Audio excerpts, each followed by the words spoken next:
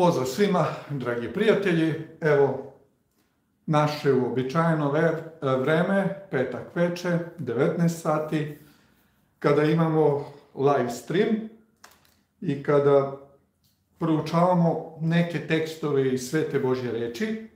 Ja vas pozdravljam i večeras, dobrodošli na moj YouTube kanal i svima želim dobro zdravlje koji se sada polako uključujete i koji ćete biti prisutni u ovom live programu večeras. Nadam se da ste dobro i da sva ova situacija sa omikronom na vas nije uticala nešto posebno loše i da oni koji su možda bili prehlađeni, da su prezdravili i da ste sada dobro i da se osjećate bolje, što i želim svima vama koji ste bolesni, prehlađeni ili bolujete od neke druge bolesti, da vas Gospod što pre isceli, da budete zdravi, da biste mogli da, da budete e, u životu zadovoljni, jer zdravlje je ono što je najvažnije u životu. Večeras pre nego što krenem sa, ovim, sa ovom temom, još uvijek nas nema previše, sveto pismo, sveta Božja reč. Za vas koji možda nemate Bibliju, ovo je prilika da je možete dobiti besplatnim putem. Ako a, pošaljete vašu adresu i broj telefona na docusangelosetjahu.com, ja ću vam poslati sveto pismo tako da možete imati da čitate i da možete da upoznajete Božju istinu i Božju spasonosnu milost koja je bitna za sve nas za ove dane i za ovo vreme u kojem mi sada zapravo i živimo.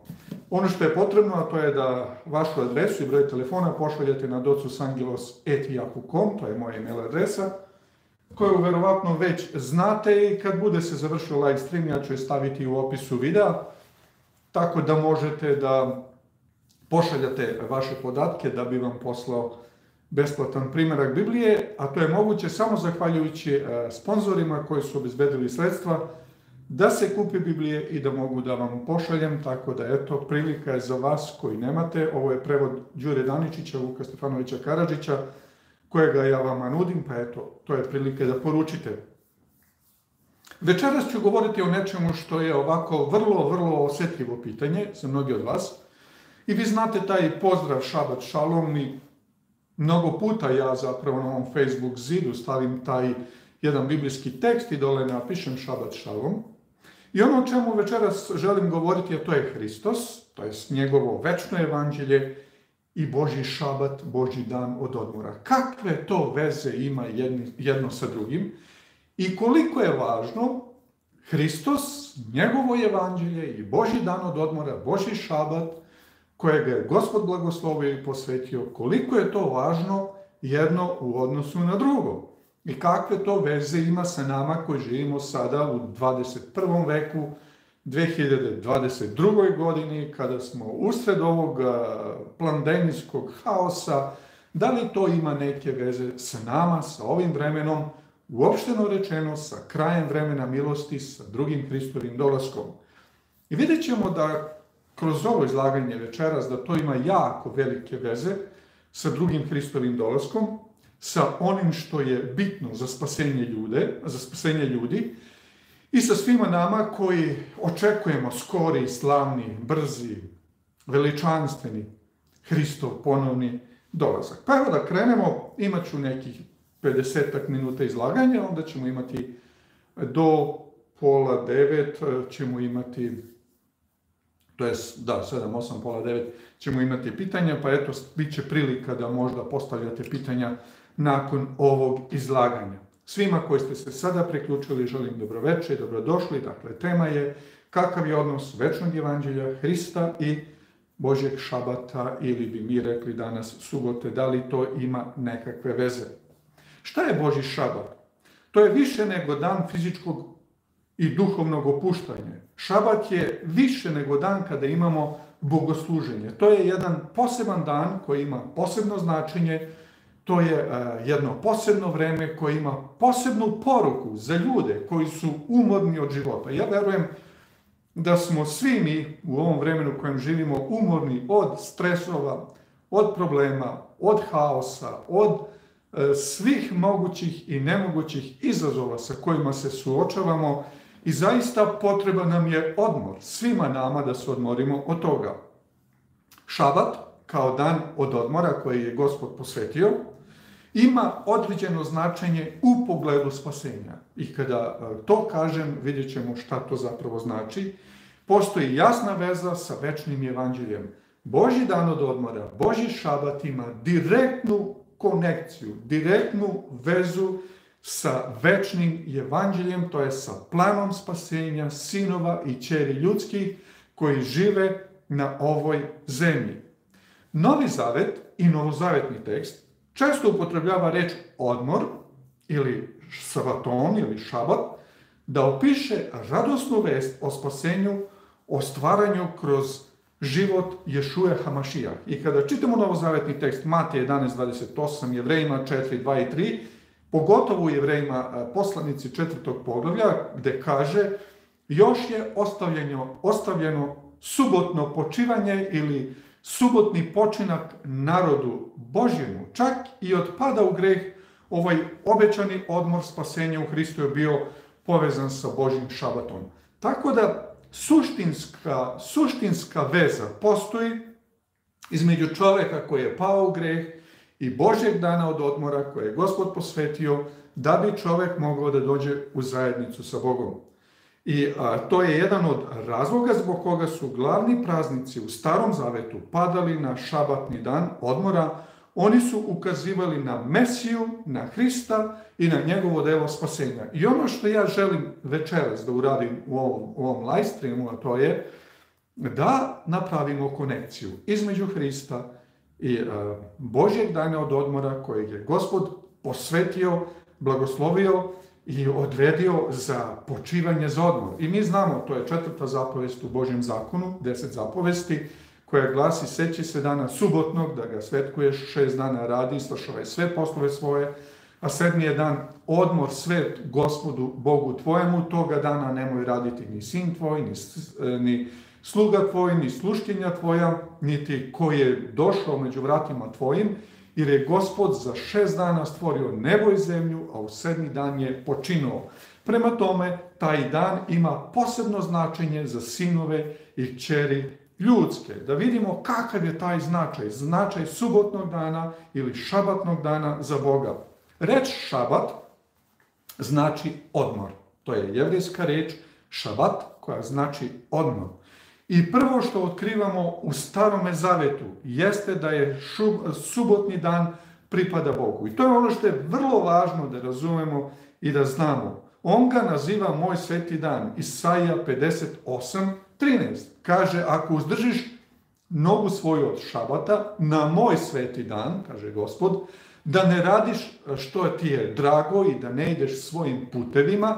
Prema tome, danas kada kažemo šabat ili subota, obično ljudi kažu pa to je jevrijski dan i to nema nikakve zajedničke veze s nama. Niti ona ima veze s jevrejima, niti oni imaju veze s tim danom. Gospod stvoritelj neba i zemlje kaže da je to njegov sveti dan. On ga naziva moj sveti dan. Isaija 58.13 ili pak u drugoj Mojsijevoj 31.13 kaže šabate moje ili subote moje svetkujte, kaže Gospod, da su znak između mene i vas, između mene i vas, kaže Gospod, da biste znali da sam ja Gospod, Bog vaš, koji vas posvećujem. Prema tome, kada, kada Gospod govori o šabatu, on kaže da je to njegov sveti dan. U drugoj Mojsijevoj 20.10 kaže sedmi je dan odmor gospodu Bogu tvojemu. To dakle je dan od odmora koji pripada gospodu Bogu, našem koji je stvorio nebo i zemlju. Dakle, ona pripada Bogu. Taj dan, šabatni dan, pripada Bogu i nazvati taj dan jevrijskom subotom nije po Božjoj reči istina. Niti je jevrijska, nego je Božja. To što su jevreji bili Božji narod pa su svetkovali taj dan, to je druga stvar. Da, U Novom Zavetu, Marko 2.27, sam Gospod Hristos kaže da je subota načinjena, nije načinjena, e, da je ona načinjena za čoveka ali da ne pripada čoveku. I možda, hajde sada samo da pogledamo to Marko, e, Marko 2.27.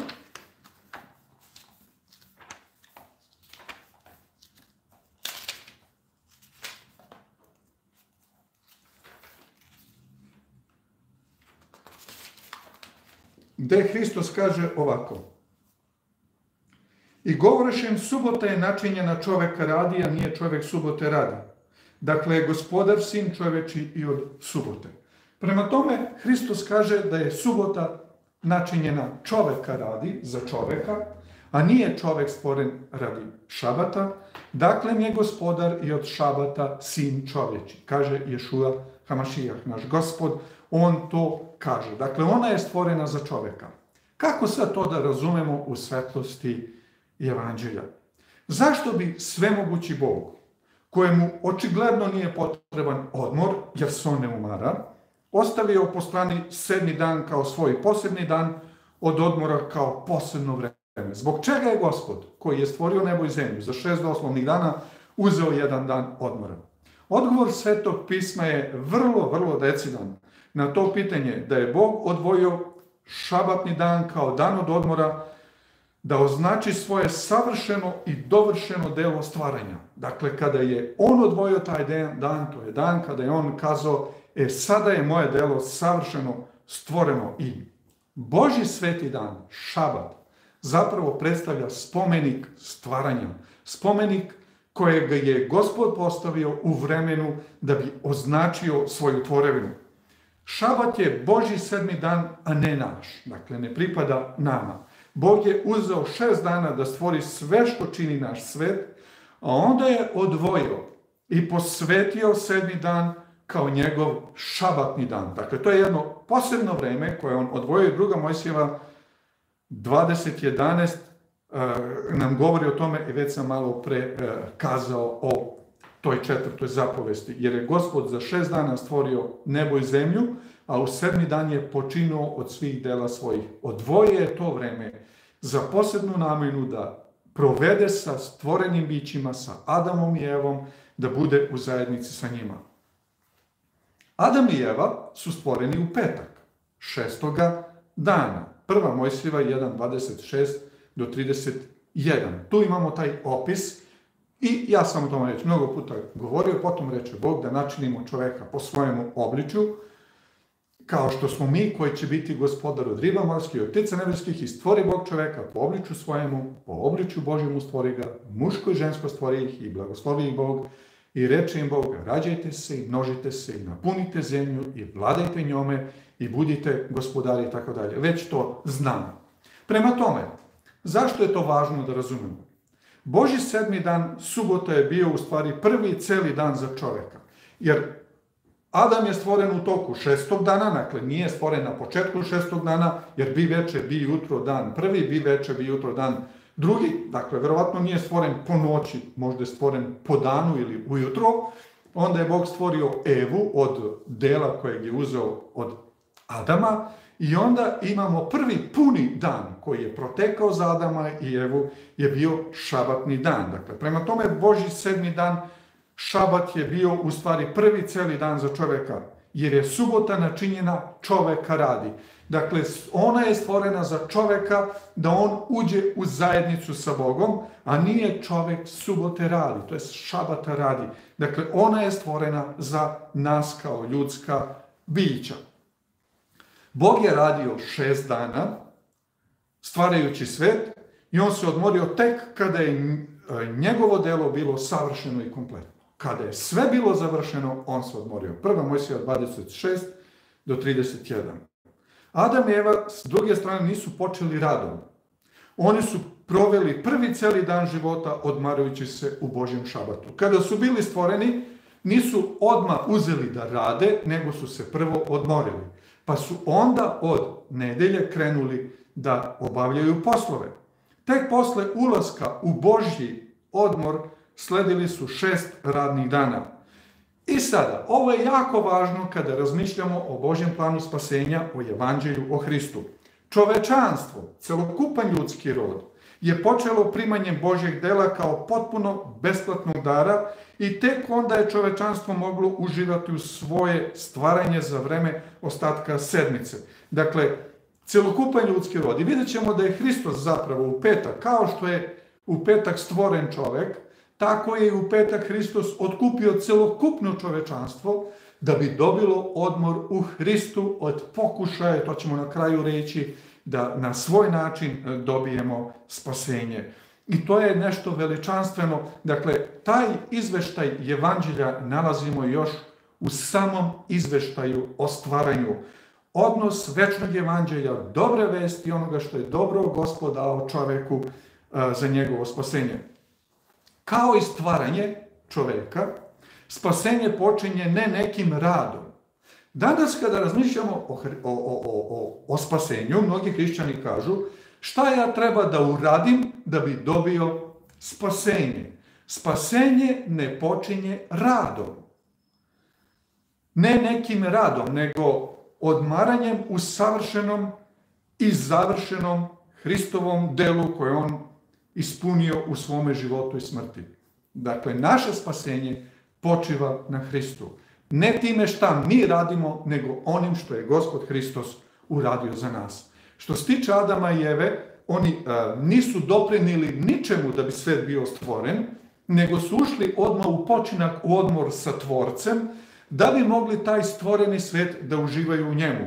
Stoga i spasenje ne počinje radom, da mi nešto dobijemo i uradimo za naše spasenje, nego počiva u delu koje je savršeno i dovršeno u Ješuji Hamašijah, u Hristu, našem caru, našem spasitelju, koji nas je iskupio.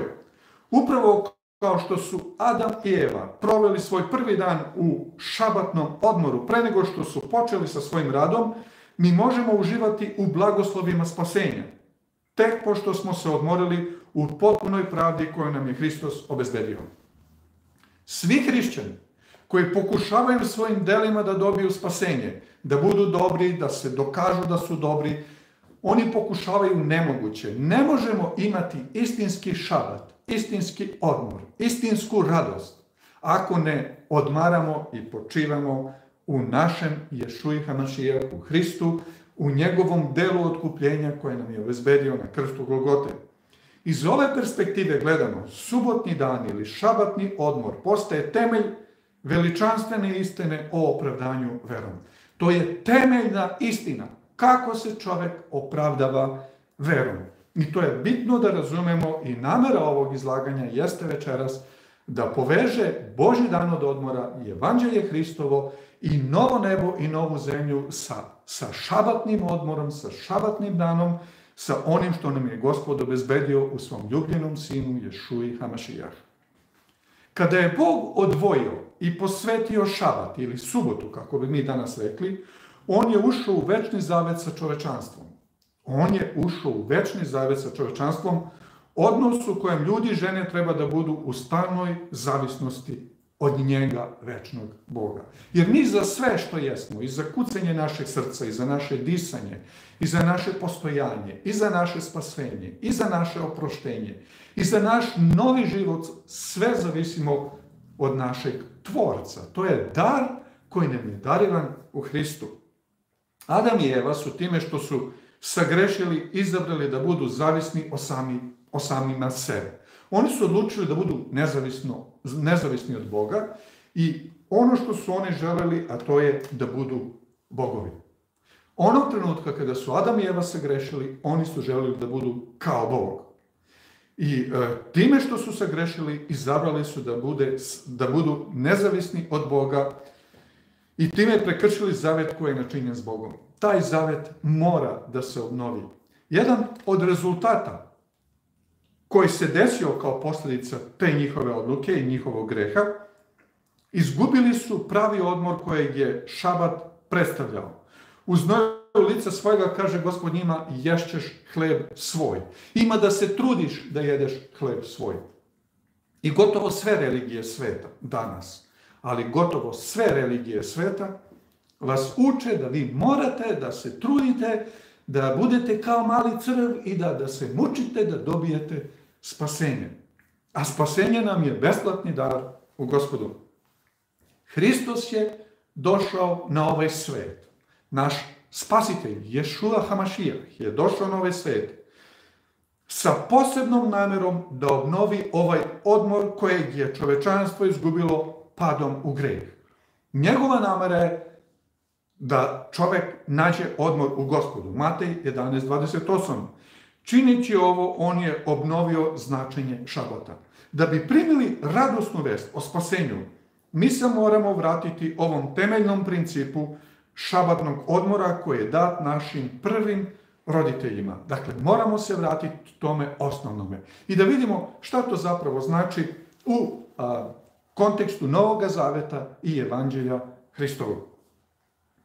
Novi Zavet i novozavetni tekst je veoma jasan da je Hristos bio poslednik preko koga je tvorac, Bog, dovršio stvaranje. I to možemo čitati Jevrejima 1.3, Efesima 3.9, Kološanima 1.16 i da ne pobrajam stihove.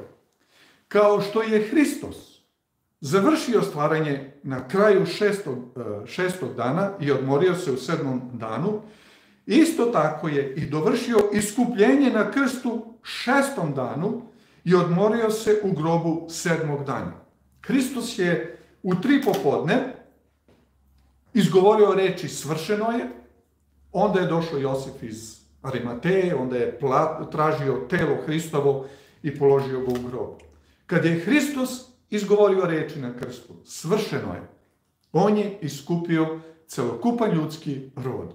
I onda je otišao u grob na šabatni dan i počivao je i odmarao je, da bi u nedelju ujutru rano Hristos ustao i taj plan spasenja koji je na krstu dovršen, da bi ga sproveo u delo, on je to kada je vaskrsao. I sada znate kada čitate evanđelja imate ta poslednja poglavlja, Matej, Marko, Luka, Jovan, gde je opisano Hristovo vaskrsenje, i onda imate njegovo vaznesenje na nebo i jevrejima poslanica nas izveštava o tome šta Gospod Hristos za nas radi danas da bi to radosna vest evanđelja mogla da, da, da funkcioniše u našem životu. I zato u jevrejima četvrte glave kaže još je ostavljeno šabatno počivanje, šabatni odmor.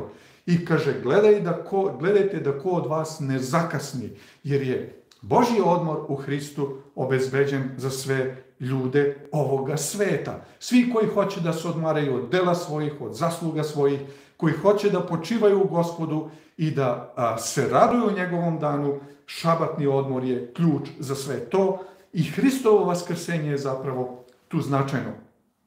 Nadalje, Hristovo delo obnove koje će biti potpuno ostvareno na kraju njegovog, njegove nebeske službe, je takođe povezano sa šabatom. I kaže Isaija 66, 22 i 23. I od mladine do mladine, i od šabata do šabata, dolazit će svako telo da se pokloni predamnom, govori gospod. Od mladine do mladine, od šabata do šabate, dolazit će svi da se poklone pred Bogom. Kroz čitavu večnost, šabat kao Boži dan od odmora ostaje nepromenjiv. Zato što je šabat spomenik stvaranja, šabat je spomenik otkupljenja i šabat je dan kojeg će ljudski rod, ljudska zajednica kroz svu večnost u Novom Jerusalimu, na obnovljenoj zemlji, poštovati zauvek i to se nikada neće prekinuti. Ona je toliko značajna i ona predstavlja posebnu konekciju između nas ljudi i večnog Boga. Mi možemo da kažemo uzet ću petak pa ću taj dan da izaberem, ili ću uzeti nedelju, ili sredu, koji god. Mi možemo da uzmemo koji god dan hoćemo. Međutim, za jedan jedini dan, Gospod kaže da je on subotu odvojio i posvetio i blagoslovio. Odvojio, posvetio i blagoslovio. To je dakle njegov dan, njegovo vreme kada treba da se susretnemo sa njim. Njegovo delo obnove će biti savršeno i dovršeno delo kao što su to bili stvaranje i iskupljenje. Od mladine do mladine, od šabata do šabata. Njegovo delo obnove će biti savršeno. I ono što trebate razumeti, dragi moji prijatelji, kada govorimo o šabatu, ona služi zato danas, za nas koji smo prihvatili Hrista, da budemo obnovljeni i da budemo posvećeni i da budemo savršeno novo Božje stvaranje. Šta to znači? To znači da ako prihvatimo Hrista kao svog spasitelja, ako prihvatimo Boga kao svog stvoritelja, ako prihvatimo, jer Hristos je i stvoritelj i spasitelj i otkupitelj i, i, i onaj ko će stvoriti novo nebo i novu zemlju koji inače sve stvorio, dakle, šabat ima prema tome trostruko značenje za nas. Prvo, stvaranje. Ona je, šabat je, dakle, e, spomenik stvaranja. Drugo, ona je e, subotni dan ili Boži šabat je spomenik otkupljenja. I treća stvar, šabat je spomenik obnovljenja. Nema stvaranja bez šabata, nema otkupljenja bez Hrista, bez odmora u njemu i nema obnovljenja ako ne počivamo u Hristu. To je ključno. Tako da sva ova tri elementa, stvaranje, otkupljenje i obnovljenje, novo stvaranje je moguće samo kroz odmor u Hristu kojeg je obezbeđen u njemu na krstu Golgote i onome što je on učinio za nas. Jer je Hristos, Ješua Hamašija, kad kažemo Hristos, to je Hamašijah, Mesija, naš tvorac, on je naš iskupitelj i on je naš obnovitelj. Izvan Hrista nema stvaranja, nema otkupljenja i nema obnovljenja. Ne postoji način da mi budemo obnovljeni, nanovo stvoreni, saobrazni Bogu, bez Ješuje Hamašijah. On ima potpuno pravo da nosi titulu gospodar od šabata. I on to kaže za sebe, jer je sin čoveči, gospodar od šabata. Prema tome, niko drugi ne može da bude gospodar od tog dana. On nudi nama odmor, on je stvorio svet i uspostavio taj odmor i on je taj koji obnavlja one koji veruju u njega. Kako mi možemo biti obnovljeni? Kako možemo imati novi um, novo srce, novi život? Pa bez Hrista to ne može. On je taj koji nas obnavlja, zato on kaže, bolje za vas da ja idem, jer ako ne otidem u teštelj, Duh Sveti neće doći. A kada ja odem, poslaću teštelja Duha Svetoga koji će vas naučiti svemu što sam ja vama zapovedio. Obnovljenje je moguće samo u Hristu. Kada je jevrijska nacija, kada su jevreji kao narod, odbacili Hrista kao Hamašijah, kao Mesiju, njihovo držanje šabata izgubilo svaki značaj. Odbacivši Hrista, šabat više nije imao nikakav značaj. Iz ovog razloga u jevrejima poslanici piše dakle mi je još ostavljeno šabatovanje ili počivanje, sabatismos, grčka reč, odmor, držanje subote, narodu Božjemu, jevrejima 4.9. To je nešto što je gospod ostavio za Božji narod, za Božju decu. Svako držanje subote koje nije motivisano verom kao odgovor na Hristovo savršeno pomirenje na krstu je lažno i pripada spasenju delima starog zaveta. Svako ko kaže ja svetkujem subotu da bi dobio spasenje, e pa neće dobiti spasenje zato što svetkuje subotu. Spasenje dolazi kroz Hrista, a šabat se svetkuje iz zahvalnosti Bogu kao stvoritelju, kao iskupitelju i kao onom koji, e, koji će nas obnoviti i posvetiti za večni život. Prema tome, to je mnogo bitno da razumemo. Kakav je značaj Božjeg odmora, dana odmora za čoveka, za mene i vas koji živimo sada u ovom vremenu? Tvorac neba i zemlje, Hristos, Ješua Hamašijah, koji je u isto vreme i stvoritelj, stvorio je svet kroz Hrista za naše uživanje. Mi nismo u ničemu doprineli stvaranju. Ništa. Kao što ništa nismo doprineli time, tome da budemo rođeni, mi smo ga samo primili kao besplatni dar. Te kaže gospod Adamu i Evi, evo dao sam sve bilje, sva drveta rodna, cela zemlja je sada vaša. Adam nema nikakvu zaslugu time što je dobio ovaj svet da bude car ovoga sveta. Premda šabat pripada Bogu, kao što smo vidjeli, On je šabatni dan, kao i ovaj svet, načinio u našu korist. Sve što je Gospod stvorio, sve što je Gospod dao, dao je za našu korist, za naše blagostanje, za naše dobro. On je odvojio i posvetio subotni odmor da nas podsjeća da je On onaj koji se puno, sa puno ljubavi brine o nama i da zavisimo od njega za sve naše potrebe. On je taj dan odvojio da nam pokaže da se on sa puno ljubavi brine o nama i da vi i ja zavisimo za sve naše potrebe upravo od njega. I zapravo kada svetkujemo šabatni dan, mi zapravo kažemo gospode, ti si nas stvorio, ti si nas iskupio i mi u potpunosti zavisimo od tebe. Naš život, naša sadašnjost, naša budućnost, sve je u tvojim rukama i mi pripadamo tebi. To je tvoj dan koji si ti ostavio za nas. Tako piše u Božoj reči. Naš tvorac je načinio subotni zavet sa čovečanstvom pre pada u greh. Dakle, to nije učinjeno posle pada u greh, nego pre pada u greh. Prema tome, Adam i Eva nikada nisu sagrešili, da Adam i Eva nikada nisu sagrešili, mi bismo još uvek držali Boži šabat kao dan od odmora. Kada je greh došao na ovaj svet, on je uništio značaj koji je Bog prvobitno dao subotnom danu. Greh je pobuna protivu naše zavisnosti od Boga i zahteva da bude da, i pokušaje da zavisimo sami o sebi. To je nezavisnost od njega. I zapravo gresi naši, kako kaže Božja reč, nas rastaviše sa Bogom našim.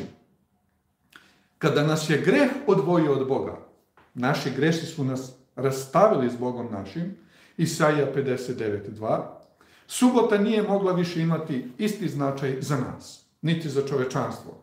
Čovečanstvo je uvelo svoj vlastiti dan od odmora, nedelju. To je dan koga su uspostavili ljudi. Za razliku od Božjeg dana, od odmora, čovekova zamena ne ukazuje na savršeno, gotovo delo stvaranja ili iskupljenja. Ova činjenica je vrlo važna u pogledu na konačni obračun u velikoj borbi koja će se odigrati u budućnost pred nama, koja dolazi pred nama. E, vi znate, o tome sam ja već više puta govorio, da se želi uvesti zelena nedelja, ta zelena agenda za celi svijet, gde će nedelja biti uspostavljena kao dan za celokupno čovečanstvo, da svi moraju da tog dana odmaraju, da niko ne radi i to je pokušaj da zavisimo sami od sebe, da mi spasemo sebe, da mi spasemo svet, da mi nešto uradimo. I to je jako važno kada o ovome govorimo. I u velikoj borbi koja će se odigrati na kraju istorije spasenja, dakle, između spasenja verom simbolizirano Božjom šabatom i spasenja delima simbolizirano čovekom nedeljom, mi ćemo se naći u samoj završnici kada će, kada će nedelja biti direktna, direktan oponent Božjem šabatu. I to je ono što nas očekuje u vremenu koje je pred nama. Na krstu je Hristos dovršio savršeno, potpuno iskupljenje šestoga dana, dakle u petak, upravo ko što je završio savršeno delo stvaranja na kraju šestoga dana. Na ovaj način, on, Ješua Hamašijah, obnovio je šabatni odmor kojeg je dao u Edemskom vrtu i koji je bio zaboravljen zbog greha. Sada svi koji primaju evanđelje verom, ponovo ulaze u Boži spasonosni odmor. U svojoj propovedi na gori Hristos je jasno učio da će nam se, ako prvo tražimo carstvo Božjega i njegovu pravdu, sve ostalo dodati. Ištite najpre carstva nebeskog, kaže Hristos, a sve ostalo će vam se dodati. Za nas je važno da ištemo najpre carstva nebeskog.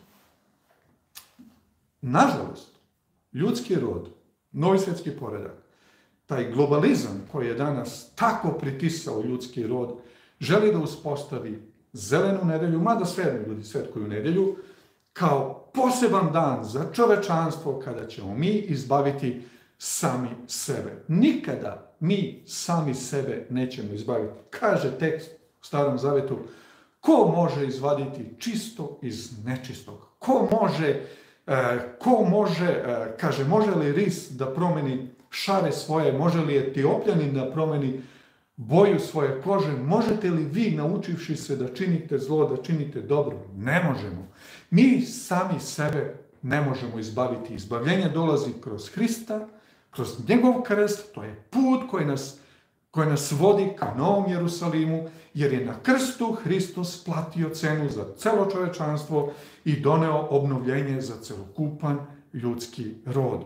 Drugim rečima, i evanđelje je stvorilo način da se izbavimo iz zavisnosti od samih sebe, što je izbor svih naših problema kao zavisnosti o Bogu, koja je izvor sve naše radosti i sreće.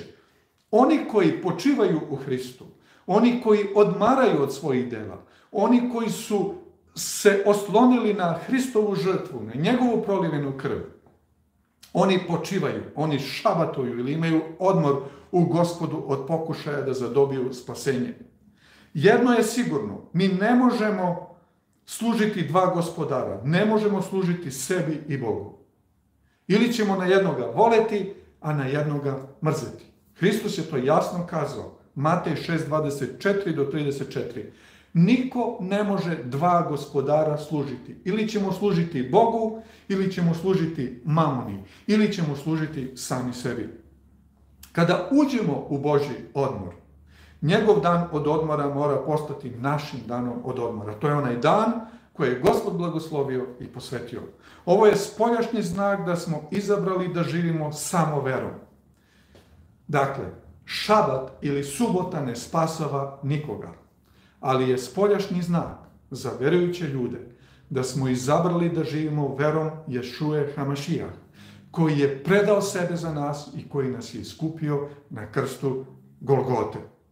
Držanje subote, motivisano ovim motivom, vere je pravo držanje subote. I tamo kaže, otkrivenje 12, posljednji stih u 12. glavi kaže, ovde je istrajno svetih, koji drže zapovesti Božje, što uključuje i četvrtu, i imaju veru Hristovu, imaju potpuno poverenje u Boga.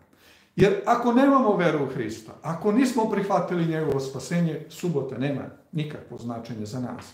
I mi danas imamo jevreje, to je jako interesantno i to je za mene misteriozno, to misterion, grčka reč. A to je da oni kao narod veruju u Boga stvoritelja, veruju u Božja otkrivenja i sve ono što postoji većim delom u biblijskom tekstu, ali imaju problem sa Mesijom Hristom. Oni svetkuju šabat, ceo Izrael, kad odete tamo, oni koji su išli u Izrael, oni to jako dobro znaju. Da jevreji svetkuju šabat i kada dođe petak, ako vas nahvataju da vozite auto kad počne šabat, može da vam se desi da u nekim kvartovima gde su ti, kako ih oni zovu, ti ortodoksni jevreji, možete desiti, može se desiti da vam neko razbije šoferšajnu na autu zato što vi to radite. Čak recimo u Sjedinjenim državama imate Pa i u Izraelu, verovatno, ali u Sjedinim, čuo sam za Sjedinjene države. Postoje zgrade i spratovi na kojima žive jevreji. I to su liftovi u tim zgradama gde su samo oni. Tako da on kada ulazi u zgradu i kada hoće da ide na svoj sprat, on ulazi u lift, on se samo otvara i staje na njegovom spratu da ne bi stisnuo dugme, da ne bi radio. Sve oni to drže, ali što bi narod rekao, badava kreće, jer su odbacili Hrista kao Mesiju. I džaba im sve to. Ako nemamo Hrista kao Mesiju, onda je zapravo sve uzaludno. I kada uđemo u Boži odmor, njegov dan od odmora postaje našim danom od odmora. I to je naš spoljašnji znak da smo izabrali da živimo samo verom u našem spasitelju i gospodu Ješuji Hamašijah. E sada, Boži zakon, deset zapovesti i Boži šabat. Potrebno je da se podsjetimo da Bog nije dao zakon da bude sredstvo spasenja. Jer Pavle u Rimljanima poslanici 3.28 kaže jer se delima zakona ni jedno telo neće opravdati pred Bogom. To je potpuno jasno. Znači opravdanje pred Bogom dolazi isključivo kroz žrtvu, kroz evanđelje, kroz krv Hristovu.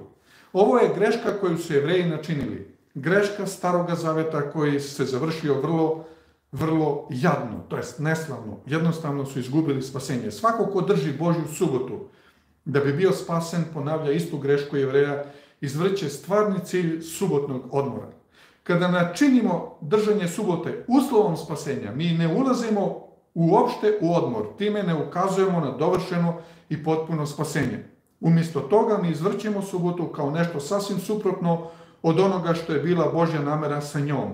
Mi je činimo sredstvom za spasenje delima, takvo držanje subote je uzaludno. Prema tome, ako mi svetkujemo subotu da bismo dobili spasenje, nećemo, je, nećemo ga dobiti zato što svetkujemo subotu, ali ćemo ga dobiti zato što prihvatamo Hrista kao Mesiju i kao cara. Ali ako smo prihvatili Hrista, prihvatit ćemo i njegov dan od odmora iz zahvalnosti, iz toga što odmaramo u Hristu. Novi Zavet, posebno apostol Pavle, jasno uči da Bog nikada nije dao svoj zakon kao na način spasenja. U stvari, pre nego što je Bog dao svoj zakon jevrejima na Sinaju, on je kazao Ja sam gospod Bog tvoj koji sam te izveo iz zemlje Egipatske iz doma ropskoga.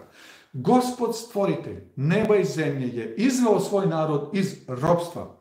Bog je prvo izveo Izraele iz ropstva i tek tada je dao Izraelcima svoj zakon. Mojsije je primio ovaj princip posebno držaženje šabata, Premda nam Bog nije dao subotu kao sredstvo spasenja, on sigurno želi da smatramo njegov zakon merilom hrišćanskog života. Prema tome, Boži šabat ili Božja subota je merilo hrišćanskog života i svako ko je izveden iz Egipta, iz robstva grehu, koji je prihvatio Hrista, on će počivati i odmarati u dan koji je Gospod blagoslovio i posvetio. Prva motivacija za držanje Božih zakona, rekao je Hristos, je ljubav. Naša grešna priroda ne može proizvesti ovu ljubav, jer je to agape ljubav, samo požrtvovna ljubav, čiji izvor samo Bog. Mi nemamo takvu ljubav u svome srcu. Prema tome, Bog nam daje novu ljubav ili agapas kao dar kroz svog svetoga duha. On nam ne daje ovu ljubav tako da bismo mi vratili njemu, to bi učinio Bog, Boga sebičnim. On nam daje tu nesebičnu ljubav, božansku ljubav, kroz duha svetoga, tako da možemo pokazati drugima kao dokaz spasonosne sile evanđelja nad našim egom. To znači imati zakon upisan u srcu. Osobe koje će imati Božji pečat na sebi, one će imati i Božju ljubav na sebi, jer ljubav dugo trpi, ne zavidi, ne nadima se, ne veliča se, sve snosi, sve veruje, sve mu se nada, nikada ne prestaje. To je božanska ljubav koja ostaje trajno u čovjekovom srcu. I kad volimo Boga, celim, kaže, prva najveća zapovest jeste ljubi gospoda Boga svim srcem, svom dušom, svim umom svojim. I kada volimo gospoda svim srcem, svom dušom i svim svojim umom, naravno da ćemo poštovati i njegove zapovesti, uključujući i četvrtu zapovest, koju je dan od odmora, koju je Gospod blagoslovio i posvetio. Prve četiri Bože zapovesti su o našem odnosu prema Bogu. Drugih šest su o našem odnosu sa našim bližnjima. Pošto je božanska ljubav ne traži svoje, kako da držimo prve četiri zapovesti bez da učinimo Boga sebičnim? Mi ne možemo to da učinimo sećajući se da je jedini način na koji mi možemo držati zakon kroz veru. Rezultat držanja prve četiri zapovesti verom je iskustvo novog rođenja. Dakle, kada Boži zakon je upisan u našem srcu, to je iskustvo novo rođenja. Ako nismo doživjeli novo rođenje, ako nemamo ljubavi u sebe, mi imamo u sebi, mi imamo recimo mnogo hrišćana danas koji izgledaju onako da su hrišćani, ali nemaju ljubavi, hladni su, nemaju taj odnos ljubavi prema Bogu. Dokaz i prema ljudima. Dokaz da volimo Boga i volimo ljude jeste da imamo ljubav. Rezultat držanja prve četiri zapovesti verom je iskustvo novorođenja i sa tim iskustvom dolazi da božanska ljubav koja nas osposobljava da držimo ostali šest zapovesti o ljubavi prema bližnjima, da volimo naše bližnje, da ih blagosiljamo, da činimo dobro njima, da, da, da budemo na blagoslov drugima. Novi zavet veoma malo govori o našem držanju prvih četiri zapovesti. Nemamo previše teksta. Jer je sve što Bog od nas želi u pogledu našeg odnosa prema njemu vera, a to je vera Hristova, to jest vera kako je Hristos imao. On želi da nas, od nas da imamo veru koja je motivisana iskrenim cenjenjem njegovog uzvišenog dara ljubavi. Jedini način na koji mi možemo za Boga prihvatljivo držati četvrtu zapovest, zapovest o suboti jeste vera ući verom u Boži odmor kroz svetoga duha. I time šabat postaje u ovom kontekstu pečat opravdanja verom. Šabat je dakle kada imamo ljubav prema Bogu, pečat da smo opravdani verom, da smo posvećeni, da smo zapečaćeni i da smo spremni da se susretnemo sa našim Bogom. E sada, dolazimo do jednog vrlo osjetljivog pitanja, a to je sukob subote i nedelje. S jedne strane imamo Bog, kaže subota je moj sveti dan, s druge strane imamo nedelju. O čemu se ovdje radi? E, dakle, nije ono što mi obično mislimo. Držanje subote protiv držanja nedelje. Obično to ljudi misle. Mnogi iskreni hrišćani danas, u ovom trenutku, drže nedelju potpuno, počivaju u Hristu za spasenje. Oni drže pogrešan dan iz pravog razloga. Oni ne znaju tačno sve to, ali drže to što znaju. Slično njima, mnogi iskreni hrišćani koji drže subotu misle da će ih držanje subote spasti, oni drže pravi dan, ali iz pogrešnog razloga.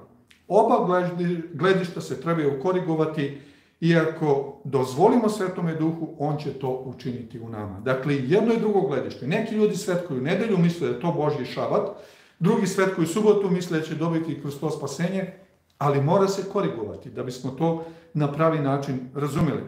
Kada je evanđelje o carstvu bude propovedano po celome svetu, jer Hristos kaže propovedat će se ovo evanđelje o carstvu po svemu svetu, za svedočanstvo svim narodima. I tada će biti, doći posledak, dakle kada je evanđelje o carstvu bude propovedano po celome svetu, za svedočanstvo svim narodima, Matej 24.14, onda će se svet podeliti i čovečanstvo podeliti na dva velika tabora, na vernike i one koji ne veruju u Boga. Jednostavno će biti dve grupe ljudi. Tamo će biti samo oni koji potpuno očitavaju, počivaju u Hristu i koji su ga definitivno odbacili. S jedne strane će biti oni koji vole Hrista, na, u čijem srcima je gospod upisao svoje zapovesti, s druge strane će biti oni koji su kazali, ma šta to nama treba, zdravo i doviđenja, ne želimo da imamo s tim ništa. U posljednjim danima u kojima mi živimo, će svi koji dođu pod Hristovu zastavu obožavati gospodara od šabata. Svi koji dođu pod zastavu Hristovu, oni će se i držati njegovog dana od, moda, od odmora. Njegovo držanje, njihovo držanje subote će biti poljašnji znak ili pečat pravde koji su već primili verom. Prema tome, kada govorimo o Božjem pečatu koji će doći na Boži narod od strane gospoda, to će biti karakter Hristov, ali to će biti i počivanje u Božjem šabatu kojega je Gospod uspostavio. Kao što je Avramovo obrezanje bilo pečat pravde, vere koje je imao u neobrezanju, tako će i Boži sveti, zapečaćeni duhom svetim, držati Boži šabat na kraju istorije spasenja. U posljednje vrijeme će oni koji su namerno okrenuli leđa Božjem besplatnom daru spasenja u Hristu obožavati zmiju koja daje silu zveri. Oni će uzdići nedelju kao čovekov dan od odmora nasuprot Božjem danu od odmora. I to će se desiti. S jedne strane, Bog će svoj narod zapečatiti duhom svetim i taj njegov narod će držati njegov šabat. S druge strane, oni koji su odbacili Hrista i Evanđelje, oni će uzdignuti nedelju, green šabat i uspostavit će zelenu nedelju, zelenu agendu za cijeli svet. I kao što vidite, to se sada govori. To je ono što sledi nakon ove e, velike prehlade koja će se uskoro završiti i sledi uspostavljanje zelene agende, zelene nedelje za celokupno čovječanstvo i tu će istorija sveta nekako biti dovedena svome kraju. Konačni sukob u posljednje vrijeme neće biti između dve grupe hrišćana ili čak dva dana od odmora, nego između dva suprotna načina spasavanja. Borba će biti između šabata koja predstavlja spasenje samo verom i nedelje simbola spasenja ljudskim naporom i ljudskim delima. I to će biti dva koncepta koje će se sukobiti na kraju. S jedne strane će biti oni koji su verom sakriveni u Hristu, a s druge strane će biti oni koji žele na svoj način da dobiju spasenje. I to je ono što sada dolazi. To, je, to su dani koji su pred nama, pred drugi slavni Hristov dolazak. I tu smo negdje u tom vremenu. Osnovna poruka, kroz celo sveto pismo, kroz sve svete spise, je spasenje verom nasuprot spasenju delima. Imamo spasenje verom u Ješuji Hamašija, nasuprot spasenju delima, da mi nešto uradimo, da dobijemo spasenje. Središte biblijske poruke je spasenje milošću delotvorno samo kroz veru. Središte svake lažne religije je spasenje delima. Dakle, mi činimo nešto da dobijemo spasenje. U, u stara vremena je nedelja postala ne samo dan čovekovog fizičkog duhovnog odmora, nego iznad svega ona je simbolizovala dan njegovog duhovnog odmora i obožavanja zasnovanog na ne zna, božačkom verovanju da je sunce bilo najveći bog. Ovo je postalo posebno očigledno u rimskoj kulturi, u rimskoj imperiji. Danas će nedelja, u vremenu koje mi živimo, predstavljati zelenu agendu ili zelenu nedelju, kada mi trebamo da je svetkujemo da bi se priroda oporavila. To je opet neki naturalizam, nešto što mi činimo da spasemo ovaj svet, a to dolazi upravo od nečastivog i nema ništa zajedničko sa Bogom, sa planom spasenja, sa Hristom i sa svim onim što je obezbeđeno u Hristu. I nedelje je u čast Boga sunca, a nije u čast Hrista koji je naš spasitelj. Bog je jasno rekao koji je njegov dan. Od samog svog zasnivanja je nedeljni odmor bio nezna božačka tvorevina. To nema ništa zajedničko sa Biblijom koja predstavljala ljudsku pravdu nasuprot Božjem subotom, Božjoj suboti znakom opravdanja verom. Ova dva suprotna koncepta spasenja, opravdanja verom kroz Hrista i šabata odmora u Hristu su u borbi još od pada u greh i ne mogu se nikako pomiriti. Nikada ne mogu da se pomire ova dva koncepta. Kada pravo evanđelje o opravdanju verom bude potpuno obnovljeno i propovedano po celom svetu za svedočanstvo, svaka će osoba morati da načini izbor ili protiv Hrista ili za Hrista. Ili će počivati u Božjem danu od odmora ili će raditi onako kako čovečanstvo bude tražilo. I ljudi će se opredeliti na kraju. Ili će počivati u Hristu ili će raditi onako kako se njima bude svidelo. U to vreme će subota postati Boži pečat i predstavljat će opravdanje verom. Dakle, svi oni koji su u Hristu, koji počivaju i odmaraju u Hristu, oni će počivati u Božjem danu od odmora. Držanje nedelje će nasuprot predstavljati žig zveri. I, e, dakle, e, pripadnost čovečanstvu koje želi svojim putem da ide i predstavljaće odbacivanje Božje spasonosne milosti u Hristu.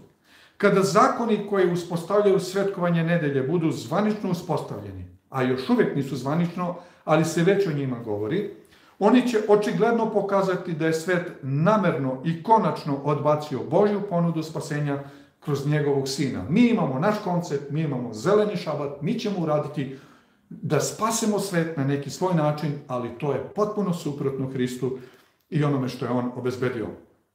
I o to je ono što govori prorok Danulija kada ugledaš, ugledaš mrzost opustošenja o kojoj Hristos govori Matej 24.15. Oni koji dalje budu uporni u nedeljnom odmoru, odupirući se namerno Božjom šabatu, će tada primiti zla, Božji gnev napomešan, utočen u čašu gneva njegove. I to su oni sedam čaša gneva iz knjige otkrivenja. Nasuprot njima, oni koji su tvrdoglavo budu držali, tvrd, koji se tvrdoglavo budu držali Božjeg šabata će pokazati nepo, pokolebljivu veru u Boga. Oni će proći kroz vreme velike nevolje. I zaista bit će to vreme velike, ali velike nevolje koja će doći na ovaj svet. I evo zaključak na kraju. Mnogi hrišćani ne razumeju pravu prirodu Božjeg šabata ili Božje subote. Između Božje subote i čovekove nedelje, jer imaju nejasnu predstavu o spasenju. A ključ spasenja je u Hristu. Ali kada ova dva suprotna načina spasenja dođu u žižu javnosti, istinska važnost šabata će se moći jasno vidjeti. U to vreme će držanje šabata postati ispit vere. Na kraju će to biti test vere. Neka Bog da svakome od nas milost i hrabrost. Da u to vreme stojimo uz istinu, govori onaj koji svedoči ovo, da, doći ću skoro. Amin. Da, dođi gospode Ješua, milost gospodnja našega Ješuje Hamašijak sa svima vama neka je u sve vekove vekova. Neka vas gospod blagoslovi da izaberete Hrista, da izaberete njegov plan spasenja, i da živite u Hristu, da bi On vas posvetio, da bi vaša srca posvetio, da bi stavio pečat na vaša čela i da biste odmarali u Hristu, u njegovom spasonosnoj sili, u duhu svetome, u preporađajućoj sili koja je darivana sinovima ljudskim u Ješuji Hamašijah. Evo, to bi bilo to za večeras. Možda je malo teško, ali naravno Biblija nije baš laka knjiga za razumevanje, ali ovaj koncept, ovaj sukob koji postoji je zaista tu prisutan. I sada imamo nekih 30 35 minuta za pitanja, pa ako imate neko pitanje, a verujem da imate sigurno, i onda, je, onda možemo da krenemo sa tim pitanjima. Pitanja pišite velikim slovima kako bi Goran video pročitati. Zaista hvala Božanele jer ja ovo sitno kad pišete ja to i ne vidim samo krupnim slovima ono što je napisano ja to mogu vidjeti. U Efesima 1.4 kao što nas da, dobro, da li je druga zver iz otkrivenja koja izlazi iz zemlje Amerika i zašto mrze Rus? Jeste prema Božjem e, otkrivenju i proročanstvu Amerika je ta druga zver koja ima dva roga kao u jagnjeta, to je odvojenost crkve od države. I zašto oni toliko mrze? Pa oni mrze sve, ne samo Ruse. Jednostavno mrze celi svet. Prepozne mrze sebe, a posle podne mrze celi svet. Zapravo ne mrze, nego to je jedna, jedna oholost. I tamo kaže da ima dva roga kao u jagnjeta, taj parlamentarizam i demokratija s jedne strane, odvojenost crkve od države, ali govori kao Aždaja. A Aždaja želi da proždre baš svakoga. Ona ne voli nikoga osim same sebe. Aždaja je zapravo simbol zmaja, simbol zla, simbol kompletnog zla. I zato Amerika, koja je nekad bila demokratska zemlja, Biblija kaže da će postati apsolutno zlo. I danas nije daleko od te istine. Establishment koji vodi tamo tu državu, tu nema ničeg dobrog, ali baš, baš ničega dobrog. Tako da Amerika danas oličenje tame, oličenje zla. Da li će Hristos doći na šabat?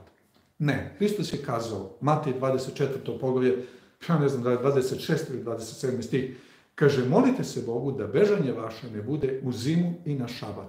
Prema tome, kada govorimo o Hristovom dolasku, svakako neće biti na šabatni dan. To mora biti neki radni dan, ali nikako šabatni dan, ali će zato prvi šabat nakon Hristovog dolaska biti naš ulazak u Novi Jerusalim gde, gde više neće biti smrti i bolesti. Zašto se himne pevaju posebno Otcu, posebno Hristu, kad su jedno?